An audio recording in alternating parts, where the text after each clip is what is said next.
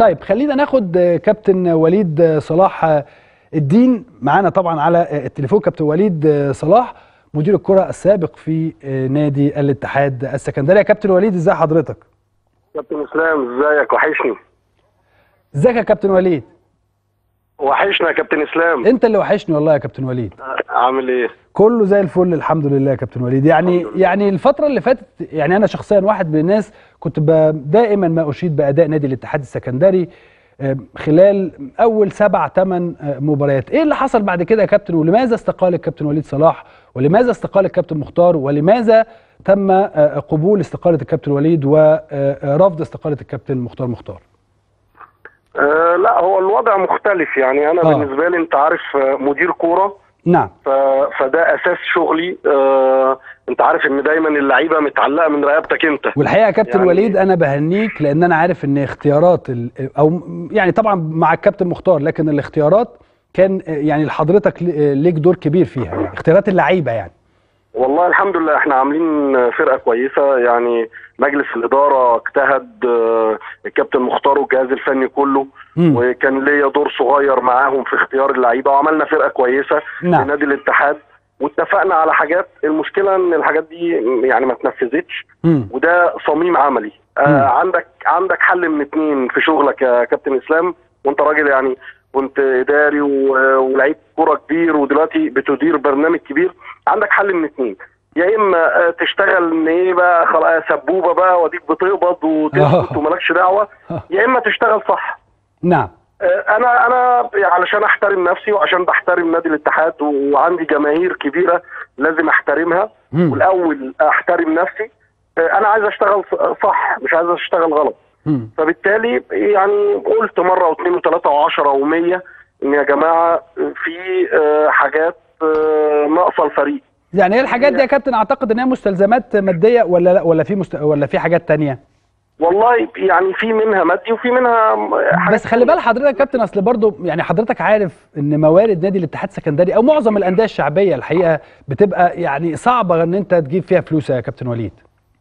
ما هو آه، الكلام ده آه، لو أنت بتطلب آه، شيء زيادة لكن آه يعني حضرتك شايف إن هو لأ. مظبوط. آه اتفضل يا كابتن. يعني يعني أنت في الآخر لما بتلاقي كمدير كورة ده هيؤثر على الفريق وده آه، بدأ يأثر آه، يعني انت مشيت شهر واثنين وثلاثه لما بتلاقي انت كمدير كورة الموضوع بدأ يؤثر على اللاعبين اداء ومعنويا من الناحية الفنية يعني. نعم. والناحية الف... آه يعني انت لازم لازم هتاخد اكشن أو لازم هتاخد قرار. أنا الحمد لله ما عنديش أي مشكلة شخصية مع أي حد في نادي الاتحاد. مجلس الإدارة ناس كلهم محترمين و... وعلاقتنا زي الفل. لكن أنا كشغلي أنا ما اقبلش إن شغلي يمشي غلط. نعم. فبالتالي أنا قلت يا جماعة أنا بعتذر لأن أنا شايف إن أنا يعني كده مش هيبقى ليا دور.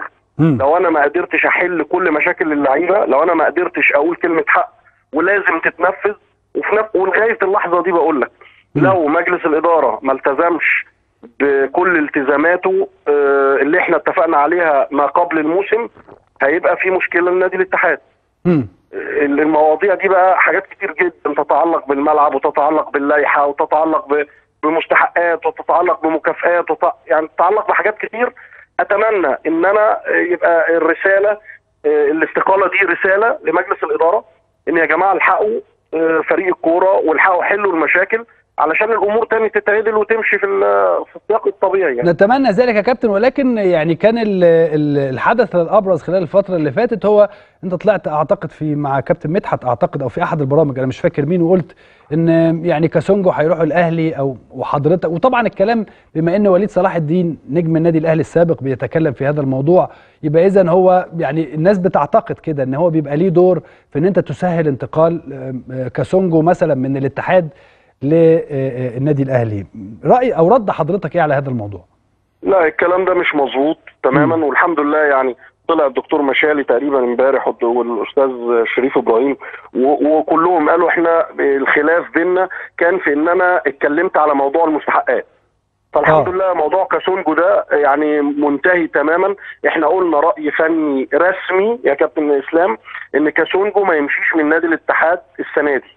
أمال إيه اللي حصل. ال- الموضوع كبر قوي وقال لك وليد صلاح بيقول كذا وبيقول كذا لا أنا. ما أنا ما قلتش كده والمكالمة مسجلة على اليوتيوب ومسجلة نعم. مع الكابتن مدحت والكابتن مدحت ذاعها كمان مرة الفكرة كلها أنا قلت بالظبط إن إحنا رأينا الفني إن كاسونجو يقعد في نادي الاتحاد لنهاية السنة ولكن لو نادي الاتحاد بيمر بأزمة مالية طاحنة ومش هقدر ألتزم مع اللعيبة ومع الجهاز الفني بمستحقاتهم هيضطر نادي الاتحاد زيه زي غيره من الأندية إنه يبيع. حتى ما قلتش كاسونجو قلت يبيع اي أي لعيب. زي الإسماعيلي ما كان بيعمل يعني خلال الفترات اللي فاتت مثلا. زي أي حد. وحتى كمان آه، أنا الحمد لله الواحد بيحاول أو بيعرف يختار ألفاظه بعناية. نعم. أنا قلت حتى هيبيع أي من اللاعبين سواء للزمالك أو للأهلي أو لأي حد. وجبت اسم الزمالك الأول عشان اكد إن أنا ولا ليا أي هدف كاسونجو ده يروح الأهلي ولا يروح الزمالك ولا مش قصتي. مم. أنا قصتي كمدير كورة إن أنا أبقى ملتزم قدام اللعيبة زي ما اشتغلنا الخمس شهور الأولانيين. آه، بالتزام كامل الناس دي علشان أنا أبقى محترم قدام اللعيبة لازم أجيب لهم حقوقهم ولا عشان آه. حضرتك كمان لما تدي عقوبة لحد على الأقل تقدر تديها له بوي يعني آه، يعني أنت كل التزاماتك موجودة. عشان كده أقدر أقدر اعاقبك. لكن أنا دلوقتي هعاقبك إزاي وأنت التزاماتك مش موجودة؟ كلامك مظبوط مليون في المية. نعم. يعني ده ده دي يعني أبسط أبسط آه، القواعد في شغل إدارة الكورة إن أنا لازم أكون آه، مديك مستحقاتك عشان أقطع رقبتك لو غلطت بالظبط. لكن أنت هتيجي تغلط أقول لك خصم هتقول لي خصم منين وأنا باخد وأنا باخد. حاجة اخصم زي ما أنت عايز ولما تيجي الفلوس يبقى يحلها ألف حلال صحيح. فهي, فهي الفكرة إن وبعدين برضو مش مسألة آه، فلوس وخلاص. يعني. لازم نقول إن أنا ممكن أصبر عليك وإحنا كلنا صبرنا وأنا لعبت في نادي الاتحاد قبل كده وصبرت كتير لكن أنا أصبر عليك في مكافأة في اتنين في ثلاثة في شهر في حاجة لكن ما أصبرش عليك في كل حاجة. مظبوط. دي يعني دي دي مشكلتي أنا تحديدا لأن إحنا السنة اللي فاتت أول خمس شهور ما كان كل حاجة بتتأخر ما فيش مشكلة. يعني ممكن الم- المرتب يتأخر ما فيش مشكلة. يركب شهر على شهر ما فيش مشكلة. نصبر شوية على الملابس ما فيش مشكلة لكن ان تبتدي سنة ويبقى ليك كل حاجة ناقصة وأنت قلت مرة واثنين وثلاثة وأربعة طب أنا بالنسبة لي أنا قاعد ليه؟ أنا آه. مش هحترم نفسي إن أنا أقعد وخلاص يبقى اسمي بقبض وخلاص ده مش أنا جاي جاي أعمل تاريخ مع نادي الاتحاد أو جاي أفيد نادي الاتحاد. لكن هي مش مسألة قاعدة وخلاص لو أنا شايف إن شغلي ماشي غلط لازم كنت آخد آه، رد فعل. وعشان كده حضرتك خدت ال- الاستقالة. بس لا رجع فيها يعني يا كابتن وليد الموضوع ده ولا يعني ممكن تفكر أو حاجة الفترة اللي جاية؟ لا لا لا لا أنا ما يعني هي الفكرة إن الأهم من إن وليد يرجع ولا ما يرجعش دي مش قصة. أهم حاجة إن مجلس الإدارة يلتزم بمستحقات الجهاز الفني واللعيبة علشان الأمور تتظبط. لكن الكابتن مختار آه، الراجل ده بيشتغل فني. وراجل. مع الجهاز الفني بيجتهدوا ومحترمين. مشكلته مشكلة فنية إن الفرقة بقى بتأدي ما بتأديش. ده, ده شغله هو. نعم. لكن أنا شغلي إداري من الدرجة الأولى. مم. فأنت أظبط آه، آه، التزامات الفريق ووفر كل حاجة صح. مم. وبعد كده وليد يرجع أو ما يرجعش دي مش قصة. لكن أنت تفتكر برضو يا كابتن وليد إن يعني بهذه الأوضاع لعيب زي كاسونجو كاسونجو تحديدا لأن هو يعني أكتر لعيب ممكن مثلا نتكلم على أحمد الشيخ مثلا برضو عشان ما يبقاش الكلام على لعيب بعينه لكن في لعيب أو اتنين في نادي الاتحاد السكندري ممكن لو فضلت هذه الاوضاع ان هم لازم يتباعوا اخر السنة دي. أنا يعني بص دي وجهة نظرك يعني. لا أنت حدد كلامك. آخر السنة دي ولا في يناير؟ يعني مش هتفرق. يعني لو ما فيش فلوس مش لا. هيقدر ي... أصل أنا ما أعرفش إيه اللي بيحصل جوه نادي الاتحاد السكندري. لا أنا بقول لك أنا ما أنا ما أفضلش كده. أنا افضل كل. اللعيبة آه، أفضل كل اللعيبة تستنى مع نادي الاتحاد. وعلى المجلس إن هو يلتزم بالتزاماته هو يوفر يوفر ناحية مالية نعم. يتفق فيها مع اللعيبة ومع الجهاز الفني. ده مم. الأحسن لنادي الاتحاد. لكن أنا النهارده أنا ببيع المهاجم ال- يعني المهاجم المتميز اللي عندي. خد بالك محمد عبد المجيد المهاجم الثالث جاله صليبي. جاله رباط صليبي. كمان. فنادي آه. الاتحاد ما عندوش غير اثنين مهاجمين فقط كاسونجو وخالد قمر. نعم. فأنا لما أبيع كاسونجو ده غلط طبعا للفرقة. طبعا غلط. وأحمد الشيخ نفس الوضع. برضه غلط إن أنا أفرط في أي حد في يناير. نعم. لازم الناس دي تقعد السنة كلها.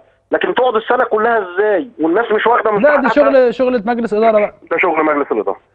عموما نتمنى للاتحاد كل التوفيق يا كابتن وليد ونتمنى لك أنت أنت شخصية محترمة كابتن وليد صلاح الدين مدير الكرة السابق بنادي الاتحاد السكندري. أشكرك يا كابتن وليد على وجودك معانا.